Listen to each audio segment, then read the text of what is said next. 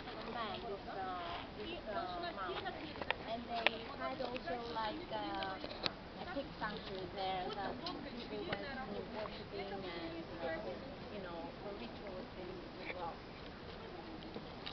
And also the, the that, um, as you can see, the.